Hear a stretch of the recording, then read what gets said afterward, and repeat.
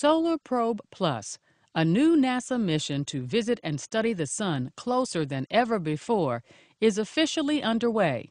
The spacecraft will plunge directly into the Sun's atmosphere at approximately 4 million miles from the surface, into a region no other spacecraft has ever encountered. NASA's daring plan to visit our nearest star, the Sun, took a giant leap today. We just announced a selection investigation. These are science instruments uh, for five different kinds of investigation for this mission called Solar Probe Plus that's going to visit the Sun as no other spacecraft has done before.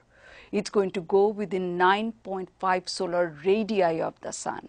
That's about 4 million miles from the surface of the Sun. Very close.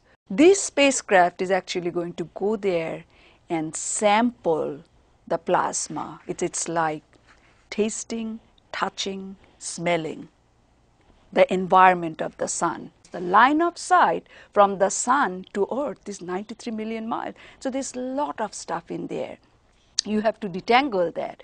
With solar probe, we don't have to detangle anything because it is going to be in that environment and actually measure this with its instrument sensors. So there is a deep connection between what happens on the sun on a normal quiet day to what happens on the sun on a very active stormy day that is directly connected to our lifestyle here on this planet. So we really want to understand what goes on the sun. We want to understand the physics and with that knowledge we expect that we will be able to make better prediction so that we can take mitigating steps when some of these storms happen.